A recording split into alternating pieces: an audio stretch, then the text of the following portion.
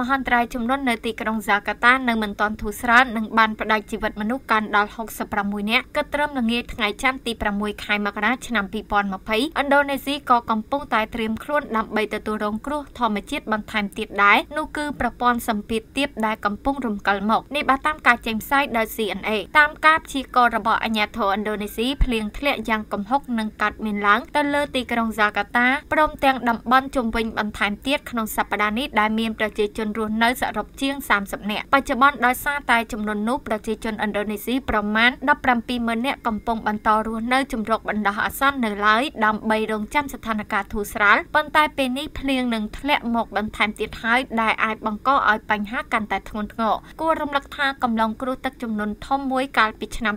2007នៅក្នុងរដ្ឋធានីហ្សាកាតានិងតំបន់ជុំវិញនោះបានសម្លាប់មនុស្សយ៉ាងតិច80នាក់រីឯ32ម៉ឺននាក់ត្រូវបានជម្លៀសពីលំនៅឋានទៅរកទីកន្លែងមានសុវត្ថិភាព